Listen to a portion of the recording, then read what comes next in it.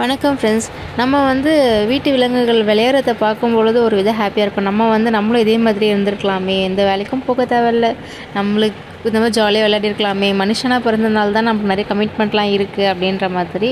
ஆனால் ஒரு ஒரு விலங்குகளுக்கும் நம்மளை மாதிரி அவங்களுக்கும் ஒரு கமிட்மெண்ட்ஸ்னு இருக்கும். நம்மளே நினச்சி பாருங்களேன். நம்ம சாதிக்காததுக்கு ஒரே ஒரு ரீசன் வந்து நம்மளை பற்றி நம்ம வந்து நிறைய யோசிக்காததுனால மட்டும்தான்.